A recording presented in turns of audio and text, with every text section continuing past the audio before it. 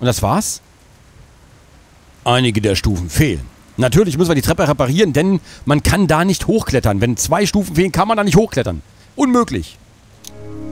So, Trittleiter und hier auch nochmal, aha, wie könnte ich die Seile loswerden? Ich weiß es selber nicht. Wir brauchen auf jeden Fall eine Heckenschere. Im Laden gab es ja eine, die war ihm nicht gut genug. Ich sag dazu mal gar nichts. Ich habe das Gefühl, diese ganzen Wimmelbildhelden sind alle irgendwie, äh, die sind voll Opfer. Okay, sonst äh, hier nichts mehr. Nein, wir müssen irgendwie die Treppen hochkommen. Alle Treppen sind versiegelt. Aber wir haben ja zum Glück ein Hahnemblem bei diesem ewig brennenden Haus. Können wir es einsetzen. Und dann geht die Tür automatisch auf, wenn wir hier nur ein Hähnchen einsetzen. So viel zum Thema Heckenschere. Natürlich geht, wenn man einen Hahn einsetzt, geht dann sofort eine Secret Door auf. Hätte ich wissen müssen. Entschuldigung. Bin ja nicht vom Fach. So. Mit der Schere, die gleich wieder verschwindet, schneiden wir hier alles durch. Heckenschere ist weg, dafür kriegen wir ein blödes Seil, was keiner braucht. Wir kriegen Bretter und wir kommen hier oben nicht rein. Wir können die Bretter hier wahrscheinlich bei der Treppe einbringen. Können dann hier nach oben gehen. Was? Schieße mit der Armbrust die Gegenstände hinter den Fenstern herunter. Was?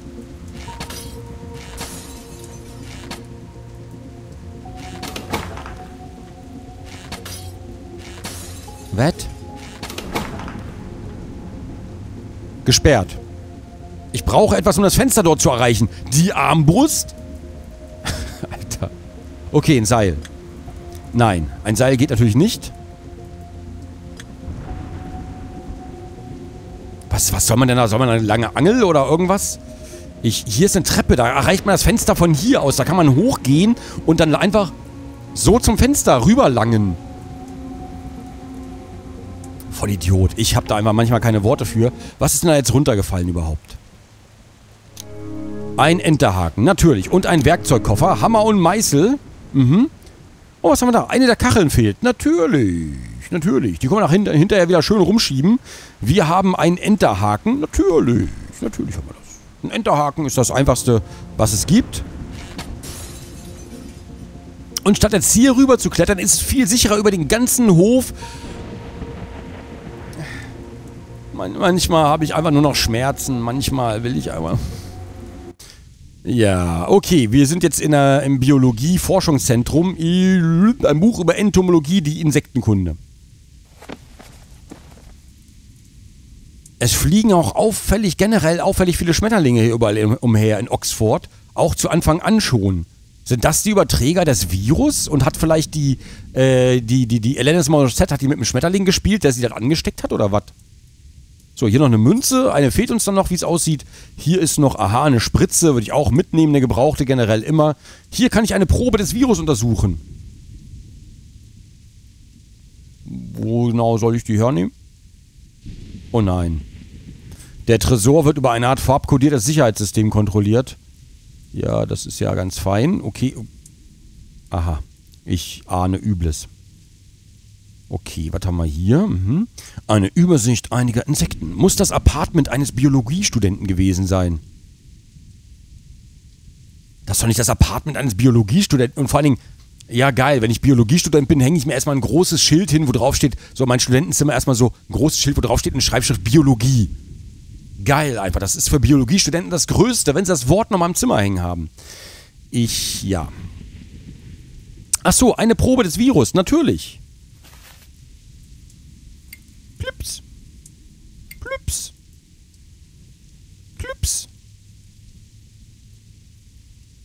Bewege die sich drehenden Moleküle durch Klicken und Ziehen in die korrekte Position.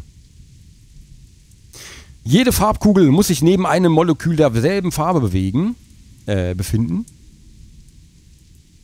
Ähm, erstmal hier ein bisschen auseinanderziehen, weil das hier gerade noch ein bisschen verwirrend ist. Ich fange mal mit Grün und Lila an. Haben wir sowas? Da haben wir das. Dann bräuchten wir Rot und Blau. Dann bräuchten wir Lila und Rot. Dann bräuchten wir Rot und Blau. Das will offenbar nicht. Das ist wahrscheinlich das hier das Richtige. Dann brauchen wir Lila und Rot. Dann brauchen wir Grün und Rot. Grün und Rot, Grün und Rot. Dann brauchen wir Blau und Rot. Dann brauchen wir Blau und Grün. Brauchen wir blau und äh, das äh, wird wohl... Nee, das wird wohl das hier sein. Dann das hier ist das hier. Und das hier ist das hier. Gefunden! Genetisches Muster!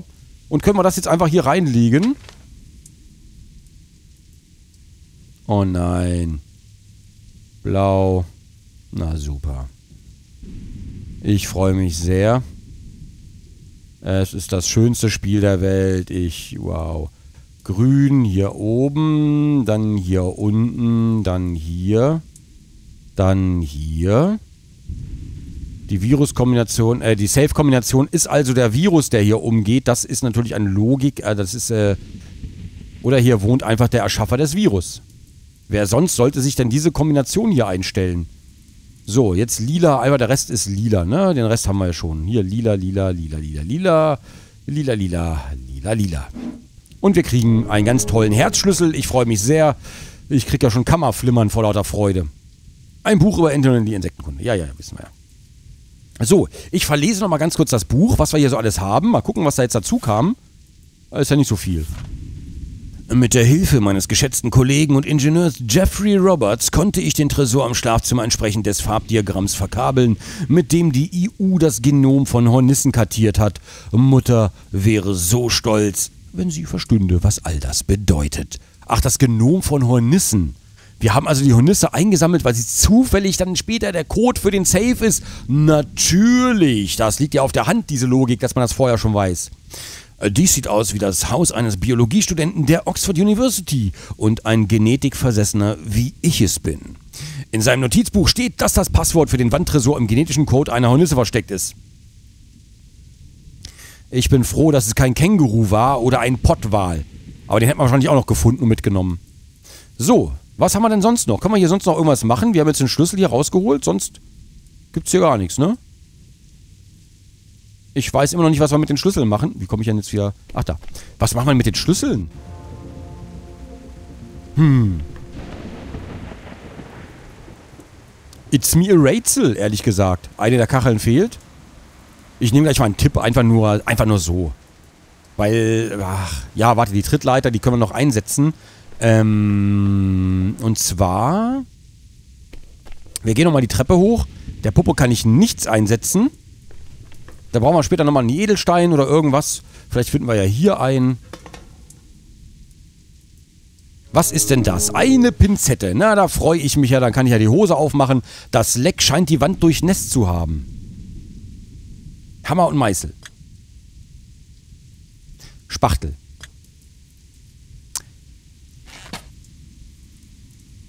Willst du mich verarschen? Er schießt ja auf alles. Scheint, als hätte ich im Badezimmer etwas kaputt gemacht. Seufz. Aha, ein rotes Juwel in, hinter, versteckt hinter einer Kachel, hinter einer hohlen Kachel im Badezimmer, wo sie zum Glück keine Feuchtigkeit sammelt, in diesem Scheißhaus hier. Oh, das ist glaube ich eh egal.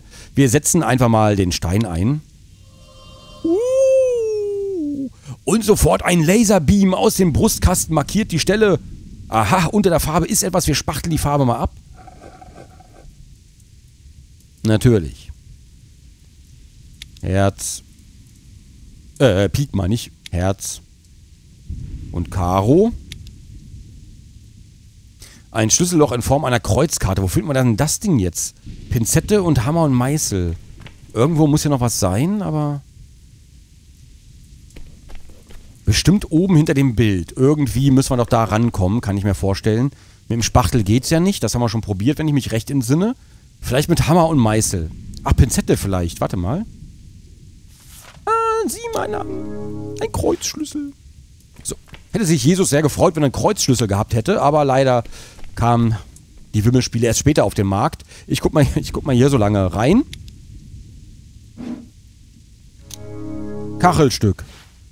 Alter, es ist doch einfach zum Heulen der Super Secret Room, weißt du, mega abgeschlossen mit vier versteckten Schlüsseln und so weiter. Und da drin befindet sich ein pissiges Kachelstück. Aber der Rubin ist einfach hinter einer losen Fliese im Bad. Ich, ja, ich, ja, nee, ja, nein, ja, vielleicht. So, was? Klicke auf zwei Kachelstücke, um ihre Position zu vertauschen. Sobald eine Kachel korrekt platziert ist, erscheint sie heller und kann nicht mehr bewegt werden. Ich möchte mich auch nicht mehr bewegen, langsam. So, das ist schon mal richtig. Aha. Aus der Perspektive hier ist es ein bisschen schwer. So. Nein, ist wahrscheinlich hier unten, ja. Äh, das hier gehört da oben hin. Das hier könnte hier sein. Nee, offenbar nicht. Wahrscheinlich hier, ja. Dann, das hier muss dahin. Das hier muss dahin. Das sieht alles aus wie von unten. Warte mal, das... Nee, ach halt, weg. Das hier gehört doch dahin. Nicht, dann da. So rum, so rum.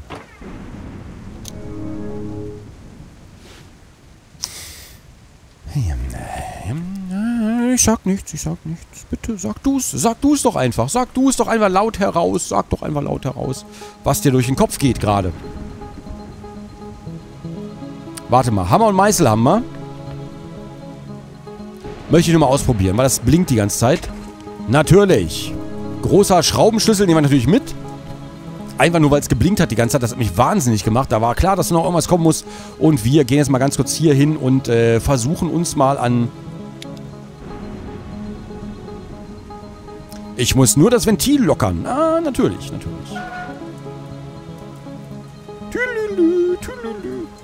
Ich finde es geil, dass das Feuer auch so einen Helzbalken hat. Das ist ein richtiger Bosskampf gerade. Richtig Boss-Battle.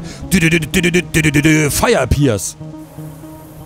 So, wir löschen einfach mal die ganze Brücke, weil ja sonst gibt es keine Feuerwehr. Die holen ja über Zivilisten raus, aber schicken gar keine Feuerwehr rein. Wobei kann ich verstehen, obwohl die hätten ja Schutzanzüge gegen Viren. Warum schicken die ja niemanden rein, um irgendwen zu retten? Die fliegen mit dem Helikopter drüber und sagen Ciao. Da ist doch irgendwas nicht richtig. So, der letzte Boss ist bekämpft in einem epischen Battle. Was?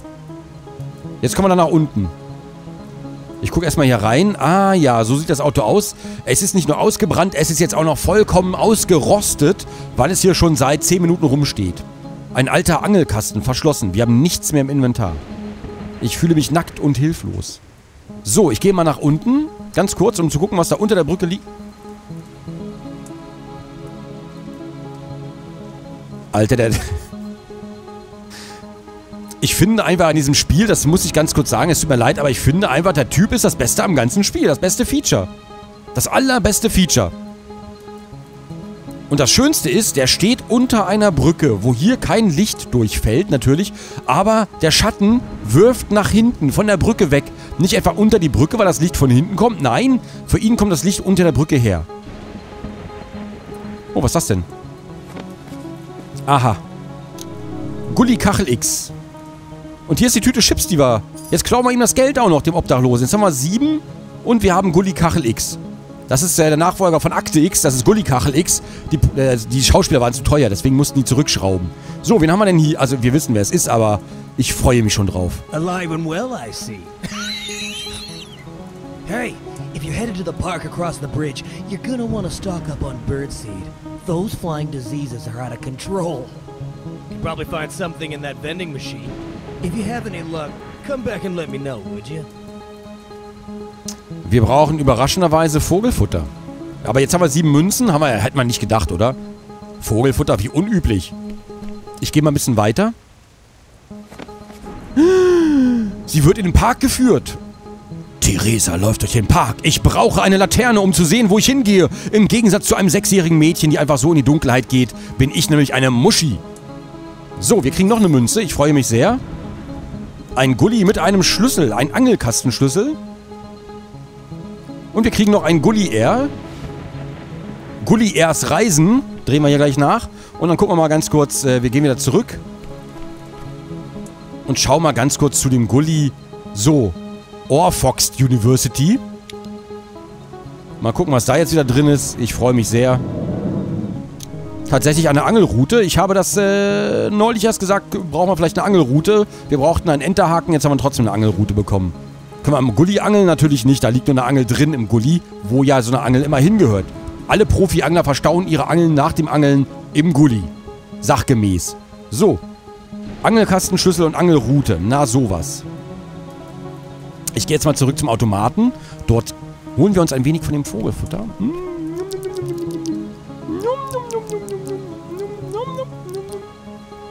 So, acht. Ach, wir brauchen wirklich acht. Jetzt muss ich acht